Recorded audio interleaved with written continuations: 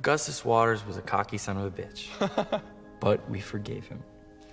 Not because of his superhuman good looks or because he only got 19 years when he should have gotten way more.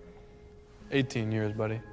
Dude, come on. Really? I'm assuming you have a little more time, you interrupting bastard. Interrupt me in the middle of my eulogy. You're supposed to be dead. but um, when the scientists from the future come to my house with robot eyes and they tell me to try them on, I'm gonna tell those scientists to piss off because, because Gus, I don't even want to see a world without you. I don't. I don't want to see a world without Augustus Waters.